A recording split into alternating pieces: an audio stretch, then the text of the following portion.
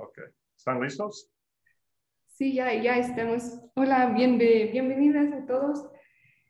Em, hoy vamos, vamos, a tener la charla de Tim Gendron de Cuernavaca, aquí en el coloquio, sobre el duodécimo problema de Hilbert, invariante modular cuántico y cuasi cristales.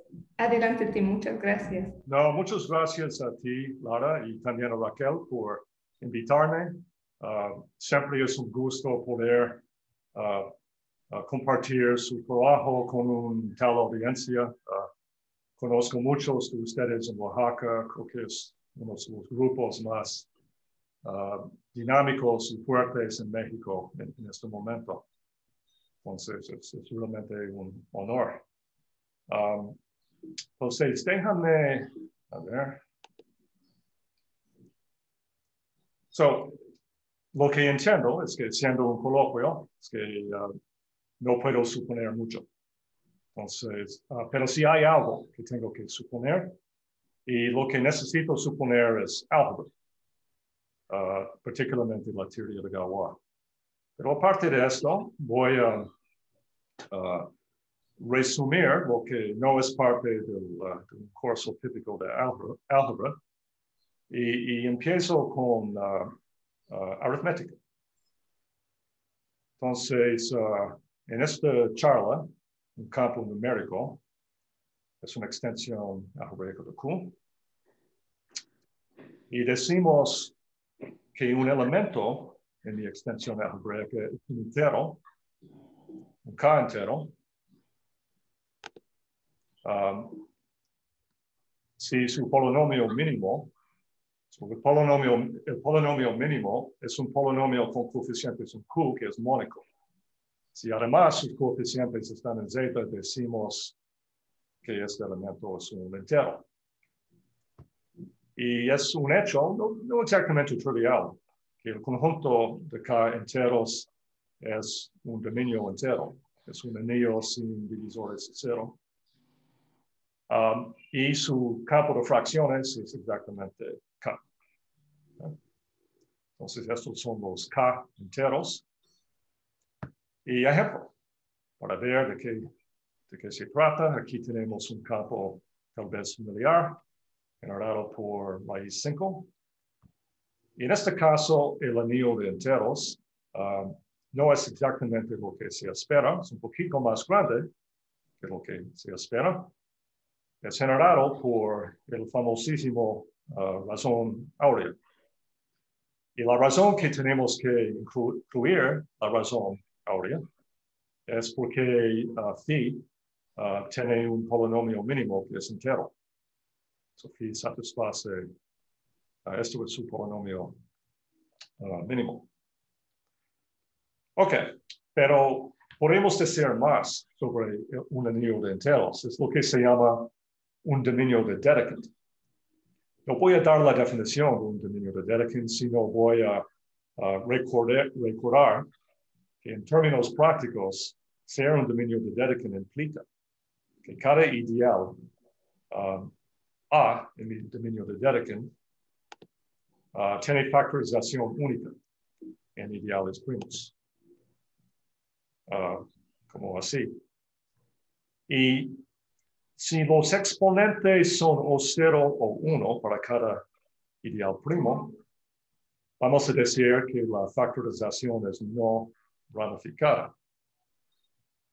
Y si no, vamos a decir que es ramificada. Es decir, es ramificada si hay ocurrencias múltiples de, de ciertos primos. Y podemos usar esta distinción para distinguir ciertas clases de extensiones uh, de campos numéricos. Entonces, si tenemos una extensión de campos numéricos, um, uh, trivialmente tenemos una extensión de anillos enteros. Y si P es un primo abajo, en OK, podemos generar un ideal arriba, en OL, pero este ideal no es necesariamente primo. Entonces va a contar con su factorización primaria, ah, tal vez no trivial. Y decimos que la extensión es no ramificada en el primo P si la factorización primaria de P o L es no ramificada. Si es no ramificada en todos, todos los ideales primos P, decimos que la extensión es no ramificada. Ah, entonces, con estas definiciones podemos um, uh, plantear o introducir uh, ciertos tipos especiales de extensiones que se llaman campos de clases. Y para definir este concepto, primero voy a necesitar la noción de grupo clases de ideales. y para ello, necesitamos una noción general, más general de ideal, un, ideal es un OK módulo y de hecho finitamente generado uh, en OK. Pero podemos también considerar OK módulos en el campo K, que son también finitamente generados. Y estos módulos se llaman ideales fraccionarios. Y podemos tomar productos de tales módulos y el conjunto ideales fraccionarios, uh, resulta que es un grupo. Y la identidad del grupo es el mío, OK. Y el inverso de un ideal fraccionario consiste de los elementos K, tal que um, alfa por uh, gótica o alfa manda a gótico o K por multiplicación. Los ideales principales forman un subgrupo. Entonces tenemos todo el derecho a formar el cociente. Ah, el cociente se llama el grupo de clases ideales. So, mide de una cierta forma qué tan lejos es OK de ser un dominio de ideales principales. Y tenemos el siguiente teorema profundo de, Minkowski, que, este, este, grupo es finito y obviamente abeliano.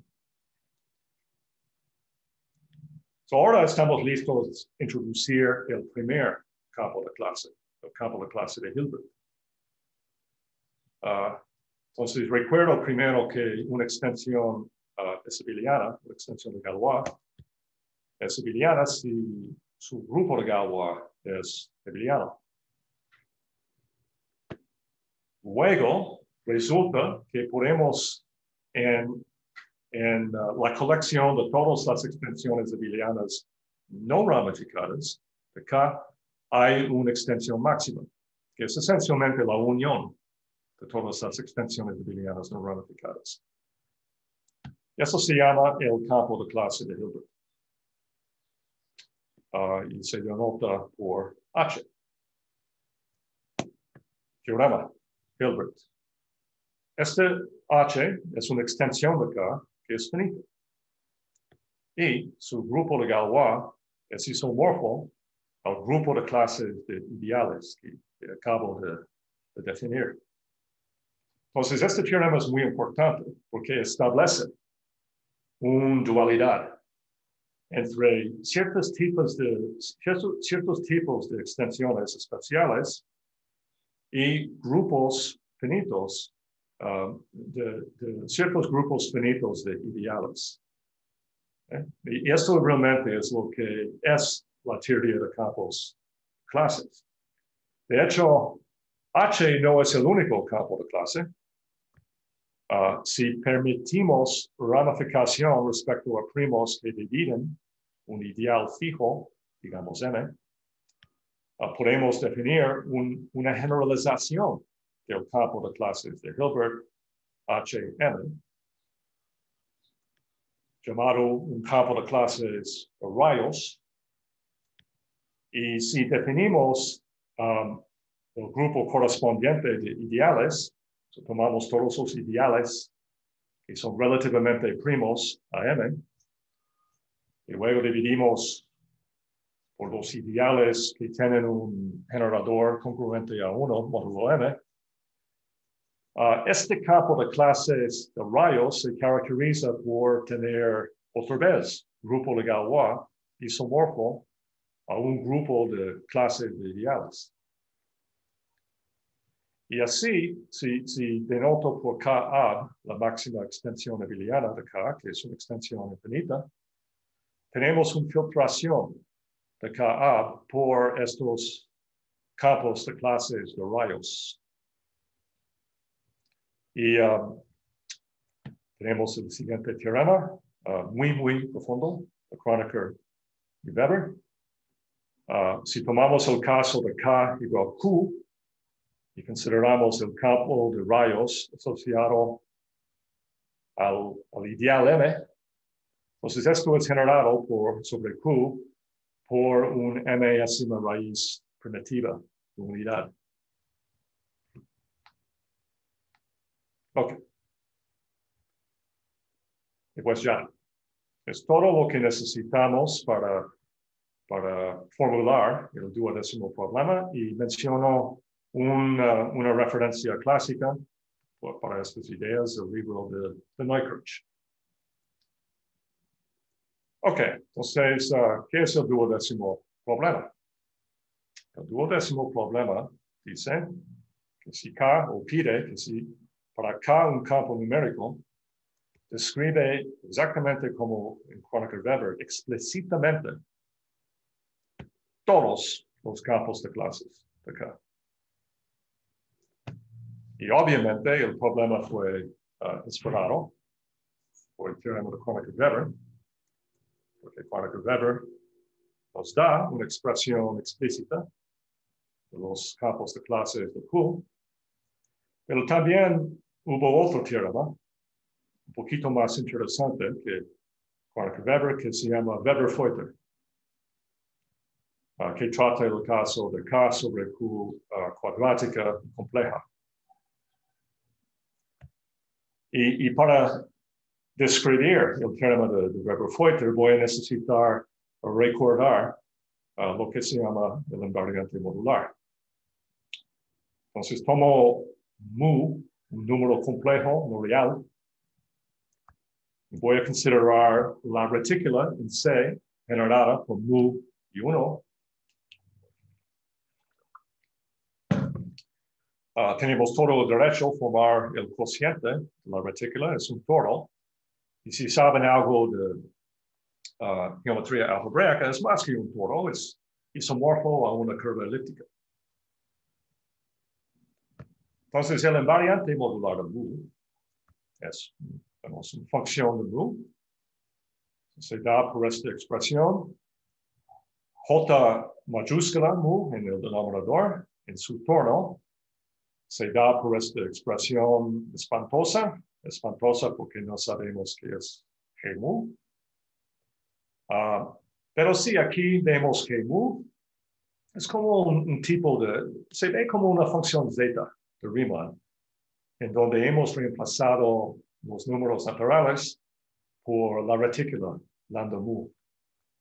Entonces tomamos esta combinación racional de sus valores en k igual 6 y 4, y pues ya, esto es la definición.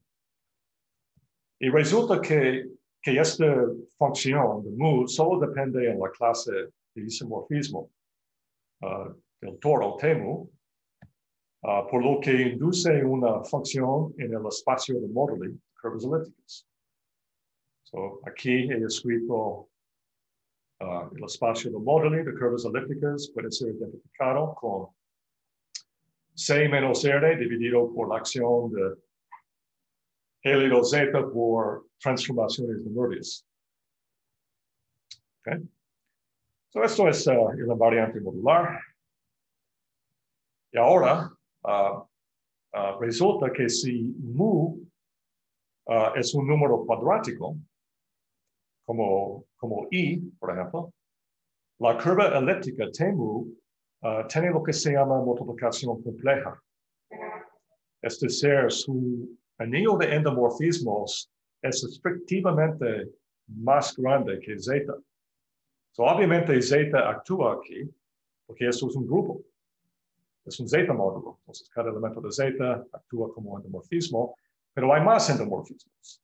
Y todos son um, elementos de OK, donde K es el campo generado por mu, uh, realizado como un subanillo de C. Entonces ahora puedo uh, afirmar el teorema de Weber-Feuchter. Entonces si K uh, sobre Q es compleja y cuadrática, y mu es cualquier elemento irracional de K, entonces el campo de clase de Hilbert es simplemente generado sobre K por el invariante modular. Y uh, es, vale la pena mencionar que, esto es bastante profundo uh, porque J es una función trascendente, es como un exponencial. Entonces, el hecho de que esto implica que J mu es un número algebraico. Entonces, esto es, es, un, es un hecho muy, muy profundo. Y luego, si escogemos mu tal que el anillo de endomorfismos es todo, OK, ¿qué, que podemos hacer? Entonces, el campo de clase de, eh, el campo de clase de rayos asociado al ideal M se da por esta fórmula, so generado por los valores de una función eta um, en ciertos puntos. Eta es, el es un múltiplo de la función p de Weierstrass asociado a la retícula. Y los puntos t pertenecen al grupo de M torsión uh, uh, del toro, los puntos que son matados por la acción de M. Entonces, ese es el teorema de Weber-Feuchter. Y uh, pues aquí tenemos una, una opinión notable sobre esta historia. So, la teoría de multiplicación compleja que forma una vinculación poderosa entre la teoría de números y el análisis, no es solamente la parte más hermosa de las matemáticas, sino de toda la ciencia. Um, eso es una opinión fuerte. No, de hecho, realmente no estoy de acuerdo con esta opinión, porque hay la mecánica cuántica, hay muchas cosas en la ciencia igual de hermosa con esta teoría. Pero uh, bueno, uh, eso fue una opinión de, Hilbert uh, proporcionada en el primer ICM que se llevó a cabo en Zurich. Y creo que es una indicación de, que a Hilbert le gustó este tema y en particular su, su duodécimo problema. Pero resulta que realmente no ha sido uh, progreso definitivo en este problema. No hay otros casos solucionados. Um, bueno, esto es una referencia, si, quieren uh, aprender más sobre la historia de este problema. Y uh, entonces, en 2004, Yuri Manin, el matemático ruso, propuso el siguiente programa de multiplicación real para tratar el caso uh, de extensiones cuadráticas reales. Entonces, si tomamos un número teta real, irracional, podemos generar igual un grupo con uno y podemos formar el cociente de R por este grupo. Eso se llama un toro cuántico. Um, el problema, uh, por supuesto, es que este grupo es denso en R, porque teta es racional. Y eso es, bueno, tiene que ver con, con el uso del adjetivo cuántico en, esta definición. Um, el espacio de Moduli asociado a todos cuánticos es como en analogía con uh, el espacio de Moduli clásico, es R menos Q dividido por la acción de Z. Y uh, Manin formuló el siguiente programa. Entonces, si K sobre Q es cuadrática y real, encontrar el análogo del teorema de Weber-Feuchter usando T theta, donde theta es un elemento racional del campo. Y aquí tenemos un obstáculo serio, uh, uh, y es que, como he mencionado, T theta, pero también el espacio de módulo, los dos espacios no son de Hausdorff. Y esto implica que no cuenten con funciones continuas no constantes. Y si recuerdan, en um, el teorema de, uh, de, Weber-Feuchter, usaba um, uh, en la variante J y, y, uh, y, la función P de Weierstrass para generar uh, campos de clases. Y esas funciones son, son continuas y no constantes. Entonces, la, la falta de tales funciones implica que vamos a tener que hacer algo tal vez uh, radical. Bueno, esto concluye la primera parte uh, de la charla. Entonces ya saben que es uh, el duodécimo problema de Hilbert y, y ahora voy a, a, compartir con ustedes un trabajo que he hecho con varias personas intentando solucionar la parte de multiplicación real. Entonces, para nosotros, uh, la primera cosa a hacer fue definir un contraparte del invariante modular para todos los cuánticos. Entonces, es un trabajo que hice con uh, un, matemático mexicano, Carlos Castaño Bernard, y uh, así es como se define. tomamos un número real, y epsilon que cero. Y consideramos um, algo un poquito diferente. Vamos a considerar las, las epsilon aproximaciones diofánticas de theta. ¿Qué es esto? So, esto consiste de, de, de enteros racionales tal que el producto de este entero con theta tiene distancia el entero más cercano acotada por epsilon. Normalmente no se discute aproximaciones geopáticas en la teoría de números algebraicos, pero yo, pues yo tenía mis, pues, pues yo, yo vengo de foliaciones, realmente, y uh, aproximaciones geofáticas son naturales en, uh, en el contexto de foliaciones, um, algo que de hecho uh, Alberto Borjaski me, enseñó. Entonces, esta cosa, este conjunto no es un grupo, desafortunadamente, es un conjunto, pero no importa. Podemos definir algo como una función zeta, so es un subsuma de la función zeta, que consiste de elementos de este conjunto. Y luego podemos copiar la definición de J. So voy a escribir J epsilon theta.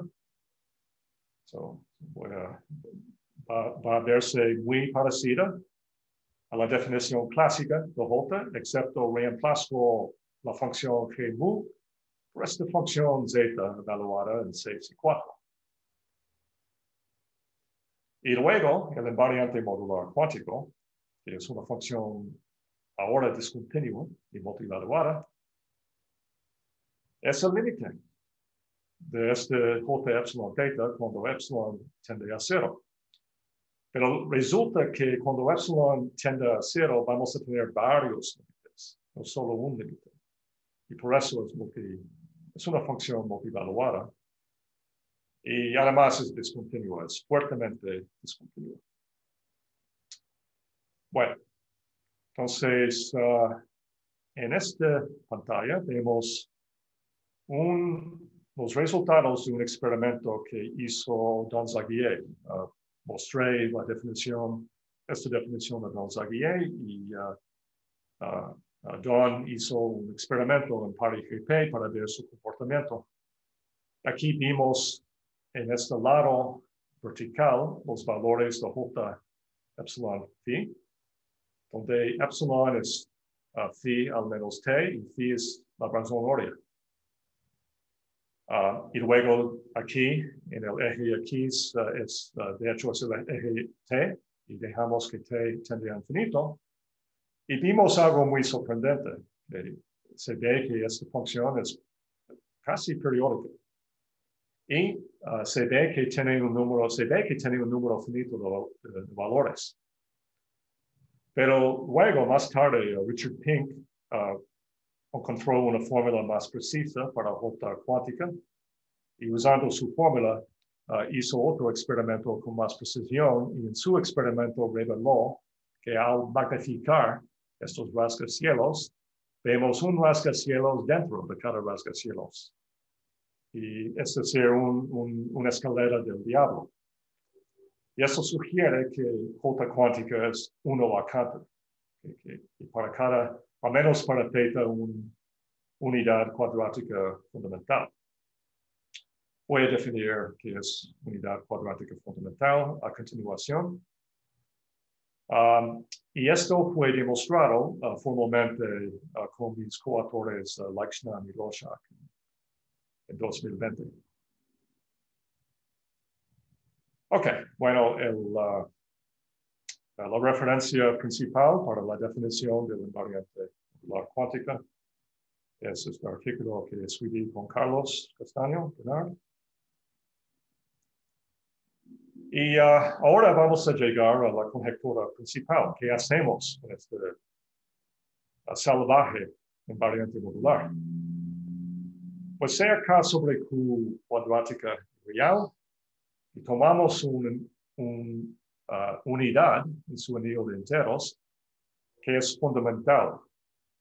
Es decir, es un generador del factor infinito cíclico uh, de este grupo. So, so se, se, sabe que este grupo es isomorfo a esta suma directa uh, por el teorema de unidades de Dirichlet.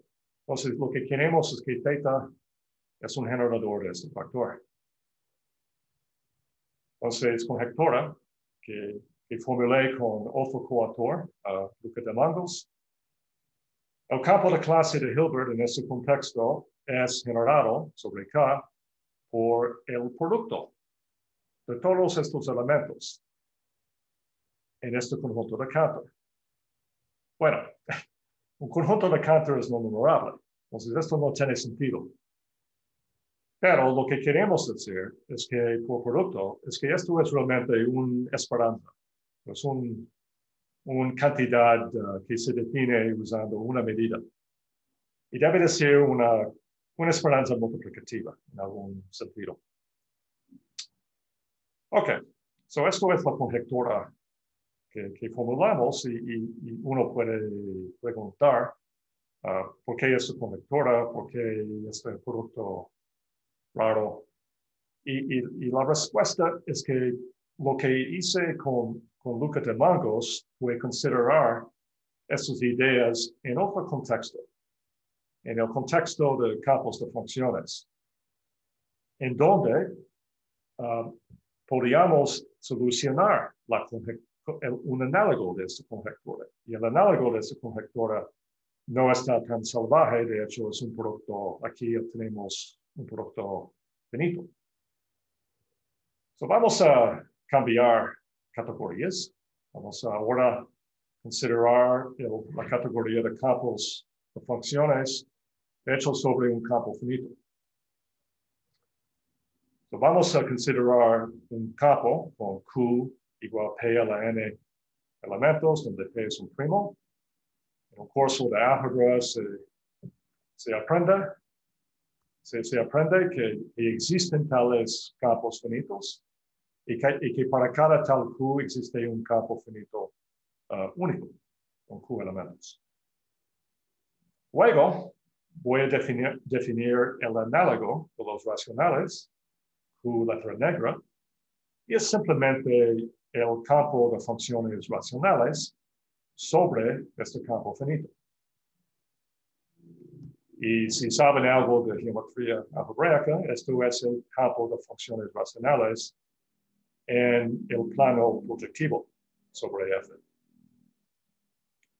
Ahora, ¿qué son los enteros? El análogo de los enteros es, pues obviamente, tiene que ser uh, el anillo de polinomios sobre el campo F. Y uh, en la onda, bueno, en el lado de geometría algebraica, este anillo se identifica con los, las funciones regulares en el plano proyectivo afuera de infinito. Okay, so aquí tenemos un análogo de los racionales y un análogo de los enteros en esta categoría. Ahora, um, también hay un valor absoluto natural um, que se asocia al punto en infinito. Tomamos una función racional, consideramos su, su orden en infinito, puede ser un cero, puede ser un polo, no importa. Tomamos su orden en infinito y usamos este orden como exponente de Q. Eso define un valor absoluto uh, por Entonces, pues el análogo de los reales es la completación de Q respecto a este valor absoluto.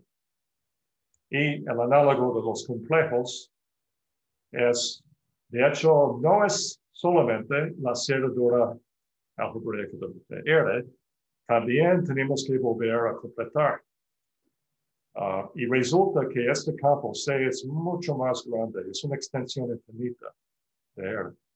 Entonces, esto tiene implicaciones favorables en, en la aritmética de campos de funciones.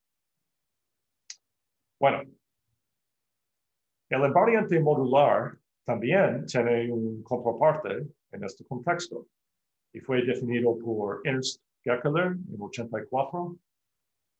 So, tiene una forma muy parecida al invariante modular clásico. Um, y se define, bueno, tiene ciertas cosas que son particulares a campos de funciones, uh, ciertas constantes que, son particulares a este contexto.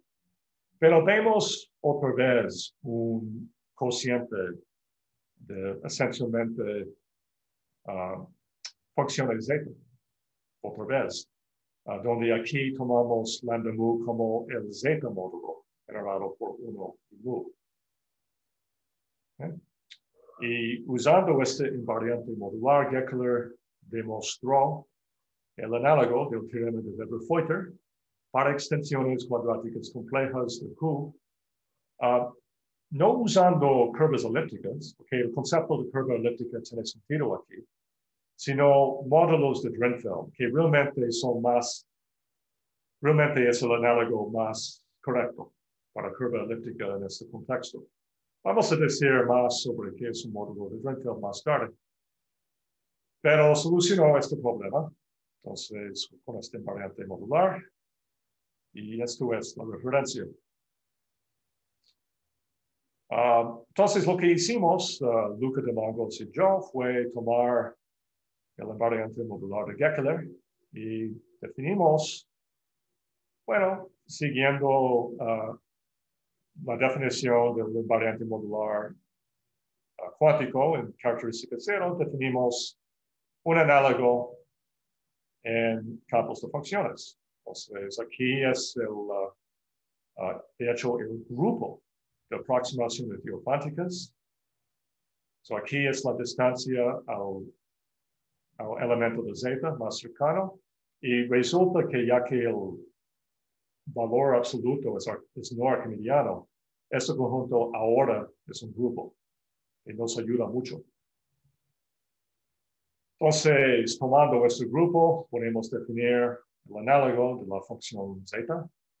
Um, aquí pongo uh, mónico, queremos que, que, son elementos mónicos porque uh, esto es, bueno, es, mónico es, uh, es la noción análoga a ser positiva en este caso. Entonces, usando el invariante modular de Gekeler como plantilla, definimos J epsilon F y luego su límite. Y, pero en diferencia con el caso uh, numérico, aquí tenemos el siguiente teorema. Si f es cuadrático, el número de elementos en J cuántica f es finito. esto es, no es un conjunto de Cantor, es un conjunto finito.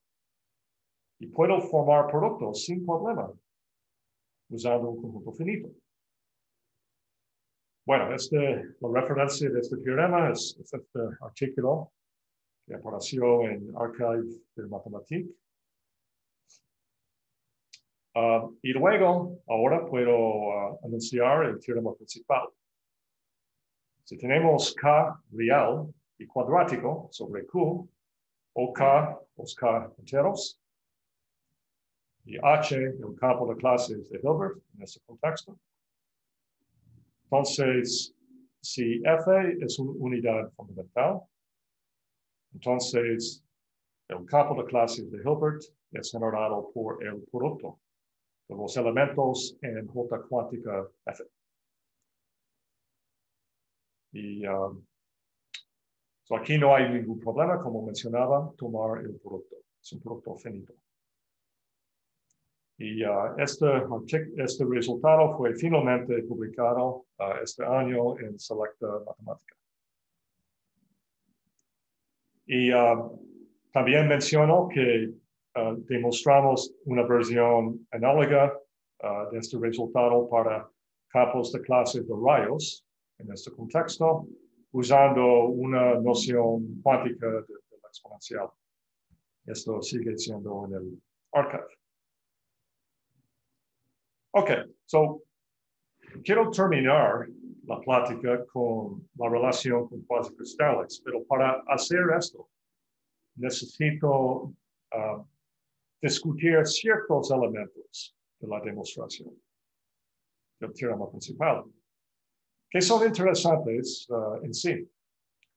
Entonces, el primer, la primera cosa que, que necesito discutir es la geometría de campos de funciones. Un elemento muy importante en este tema. Entonces, si tenemos una extensión de, Q en campos de funciones, esto se induce por un morfismo de curvas definidos sobre F. So aquí, sigma K tiene campo de funciones racionales isomorfo a K. Y si K es real, si K es contenido en los reales y cuadrática, como en el caso de, interés, esto implica que infinito um, factoriza completamente, es decir, la preimagen de infinito consiste de dos puntos. Además, tenemos la siguiente fórmula geométrica para el anillo de enteros. OK el nido de enteros, es el conjunto, el, nido de funciones regulares afuera del preimagen de infinito. Exactamente como zeta en Q consiste de las funciones regulares afuera de infinito. Entonces es una fórmula muy bonita y vamos a aprovechar su, su, su, su forma en un momento. Pero um, Déjame notar que por el término de unidades de Dirichlet, sabemos que también aquí el grupo de unidades de este NEO tiene un factor infinito cíclico. Y esto implica que cada encaje de este en R tiene imagen densa. Porque si tenemos un, una unidad que es infinito cíclico, y si tiene, digamos, norma menor que uno, sus potencias van a tener norma que, que tiende a cero. Entonces vamos a tener una sucesión um, que tiende a cero en R. Entonces esto implica que OK es densa. Y esto en particular nos dice que el cociente de R por OK es otra vez un, un toro cuántico. Pero por otro lado, podemos usar la geometría a nuestro favor para construir anillos que son mejor, que tienen mejor comportamiento. Eh, digamos, anillos enteros chicos. So, ¿Cómo se define? Bueno, mencionaba que hay dos infinitos sobre infinito y que OK son las funciones regulares afuera de los dos infinitos. Pero podríamos simplemente tomar el anillo de funciones regulares afuera de un preimagen infinito. Eso es un subanillo de. Y tiene su propio campo de clases. Es un poquito más grande que el campo de clases de acá. Y, pero en este caso, lo bonito es que el grupo de unidades de este envío, esto debe ser a mano, es pequeño, es finito. Y eso nos permite encontrar encajes discretos estos R. Bueno, resulta que el cociente tiene sentido, es bien, es un objeto manejable, esto es uh, realmente lo que se llama un módulo de Drinfeld. So, es como un análogo del círculo, realmente, porque estamos dividiendo uh, algo que tiene dimensión, bueno, el análogo de R por algo discreto. Bueno, um, ahora vamos a necesitar una identificación explícita de J cuántica. Entonces, por ser discreto en R, cada ideal en este anillo pequeño, uh, digamos, voy a, he, escogido infinito 1 para poder decir algo. Entonces, para cada ideal aquí, ya que A infinito 1 es discreto aquí, este ideal también es discreto, y define una función z convergente. Y usando esta función z convergente, puedo definir el invariante modular de este ideal. Y resulta que este invariante modular del ideal es un invariante ah, de la clase del ideal. Por lo que obtenemos una función j definida en el grupo de clases ideales de este anillo chico. Bueno, ya que mi extensión es cuadrática, solo hay un elemento no trivial en el grupo de agua, digamos, pues llamado sigma. Y el conjunto AI, que consiste de los elementos de K, tal que la conjugada de Galois, sigma G, tiene valor absoluto menor que Q menos I. Bueno, esto es un grupo, porque este este valor absoluto es no arquimediano, pero además resulta que también este uh, anillo chico también puede ser definido de modo parecido. Consiste precisamente de los elementos de K que tienen conjugada de Galois uh, menor que menor o igual a 1.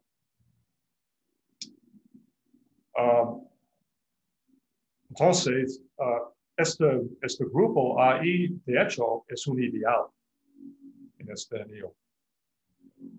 Entonces, teorema, si F otra vez es una unidad fundamental, y si, digamos, su valor absoluto uh, es Q a la D, donde D es mayor que cero, entonces podemos identificar precisamente el invariante J cuántica de F como los invariantes J de esta familia de ideales, donde I va desde 0 a t menos 1.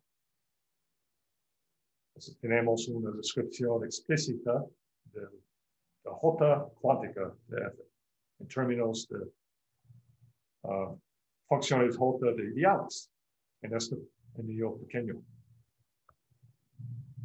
Bueno, ahora podemos discutir la relación con toda esta teoría con cuasicristales. Y, y, la relación o la razón que hay una relación con cuasicristales viene del, del deseo uh, transferir toda la, la, prueba que hice con, con Luca, uh, Luca de Mangos, de, de este teorema que mencioné. Queremos, obviamente, adaptar la prueba uh, campos numéricos. Entonces, la historia es la siguiente. Um, estaba haciendo mi, mi, sabático en París y me invitó Richard Pink uh, a ETH para dar un, un, serie de pláticas sobre este trabajo. Y uh, entonces estaba en Zurich por dos, dos días hablando con Richard y sus colaboradores. Regresé a París y luego en el fin de semana recibí un correo de Richard con el siguiente teorema. Entonces ahora regresamos al caso numérico. Tomamos θ, una unidad cuadrática fundamental, K su capo, uh, uh, sigma el elemento no trivial del grupo de Galois. Y luego para cada X en R consideremos el análogo de AI a X, definido de modo parecido. Tomamos los, las conjugadas elementos en OK tal que su valor absoluto, el valor absoluto de la conjugada, es menor que θ al menos x. Entonces, este conjunto es discreto que nos permite definir su invariante modular usando la función θ convergente, como antes. Entonces, teorema, pink. J cuántica de θ es el conjunto de Cantor que consiste de todos los valores de estas funciones J de estos conjuntos. Estos conjuntos no son, no son ideales. ¿Qué son? Bueno, resulta que son cuasicristales. Entonces, ¿qué es un cuasicristal? Yo no sabía que es un cuasicristal, pero Luego me di cuenta que, que Richard Pink le gusta mucho cuasicristales cuando se contractó a ETH su, su uh, coloquio de inauguración que se dirigió a toda la comunidad de ETH uh, fue sobre cuasicristales. Entonces, por casualidad, tenía la suerte de conocer a alguien que sabía de este tema. Entonces, ¿qué es un cuasicristal? Bueno, la definición original se dio por uh, Yves Meyer. Es un conjunto de RDN, que es un conjunto de Delaunay. Esto quiere decir que es un subconjunto relativamente denso. Cada bola suficientemente grande va a contener un elemento de lambda. Y también lambda es uniformemente discreto. Um, y pedimos una una propiedad más. Pedimos que lambda es un casi retículo. Es decir, existe un conjunto finito uh, F en RN, tal que el conjunto de referencias, lambda menos lambda, es contenido en lambda más F. Uh, so, un ejemplo uh, de un cuasicristal es el conjunto de vértices de cualquier teselación de Penrose. Esto es un cuasicristal. Y otro ejemplo ocurre en, la física de materias. Uh, son 1984, uh, Sheckman produjo en el laboratorio una aleación de aluminio y manganeso cuya estructura atómica no es cristalina, sino cuasi cristalina. Y aquí tenemos una imagen, uh, uh, ¿cómo se llama? Uh, espectrográfica de esta sustancia. Y vemos en este, eso fue hecho por rayos X, difracción de rayos X. Y vemos una simetría de orden 10, que implica una simetría de orden 5. Y simetrías de orden 5 son prohibidos en, en, en uh, retículos de dimensión 2. Entonces, esto implicaba que esta sustancia no, no tiene una estructura atómica cristalina. Pero esto es, de hecho, un, un cuasicristal. Y bueno, por este descubrimiento recibió el premio Nobel. Ok, entonces el teorema de Pink sugiere que el análogo del anillo chico A infinito 1 en característica cero es el anillo cuasi cristalino que, vimos en uh, el teorema de Pink. Digo que es un anillo porque es, un cuasi cristal que también es un monoide multiplicativo. Esta condición es multiplicativa. Y el análogo de los ideales ahí forma una familia de ideales cuasi cristalinos. Um, y es, importante o, interesante notar que los elementos de estos objetos uh, son consisten de precisamente uh, números de piso y números de salón, uh, clases de números que ha sido estudiado por 70 años, pero no de este modo. Ahora, um, voy a decir un poquito más sobre uh, módulos de Trinfeld. en el contexto, regresando al contexto de campos de funciones, los cocientes de C por los ideales en este niño chico uh, juegan el papel de curvas elípticas de rango 1, como mencionaba. Y además, más precisamente, hay algo como un función p de Weierstrass o un exponencial, en el caso del círculo, que define un isomorfismo aditivo con TA, con, con el grupo aditivo de C. Y esto nos permite empujar la estructura de A infinito 1 módulo en el lado izquierdo al lado derecho. Esto es lo que se llama realmente un módulo de Drinfeld. Y si quieren aprender más sobre este tema, esto es esencialmente la Biblia. Bueno, entonces pues ya sabemos que son los módulos de Drinfeld en nuestro caso, gracias a las observaciones Richard Pink. Si tomo A igual a X, el cuasi cristal, um, queremos formar su cociente, exactamente como aquí, pero AX no es cerrado respecto a la suma. Entonces, no podemos formar el cociente en el sentido usual. Pero podemos considerar la cerradura de las clases laterales, digamos. Aquí formamos todas las clases laterales, no, no tiene estructura del grupo, pero cada, cada traslación de A por un elemento de R también es cuasi cristal. Entonces, este conjunto de clases laterales es un conjunto en el espacio topológico de todos los cuasicristales de dimensión 1 y puedo definir o puedo tomar su cerradura. Y lo que pasa es que obtenemos, ah, no, no, obtenemos una variedad ah, de dimensión 1, sino un solenoide de dimensión 1, es decir, un, un espacio topológico localmente modulado sobre R por un conjunto de campos. Además, este espacio tiene algo como multiplicación compleja, que, que, llamo multiplicación cuasi cristalina. Ah, el anillo cuasi cristalina, quasi actúa por endomorfismos cuasi cristalinos. Bueno, no voy a definir ese concepto, pero actúa en este solenoide.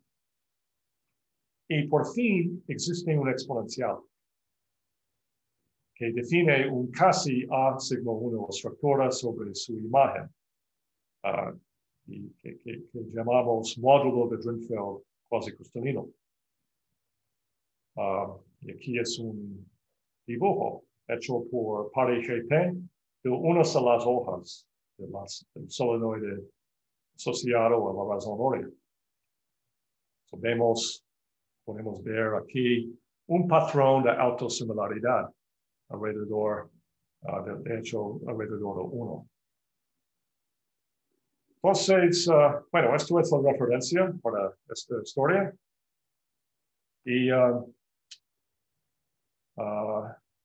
finalmente termino con las, esta página. he formulado basado en todas estas ideas un programa que tal vez es parecida al programa de multiplicación real. y es lo que voy a llamar multiplicación cuasi-cristalina.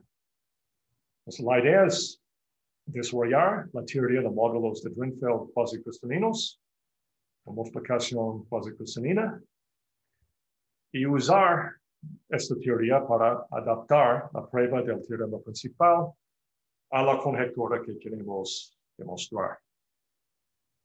Y pues ya, no tengo más decir. Muchas gracias, Tim. Al contrario, gracias a ustedes. Gracias, Tim. Muchas gracias. Creo que vamos, ya vamos a acabar la, la grabación y vamos con las preguntas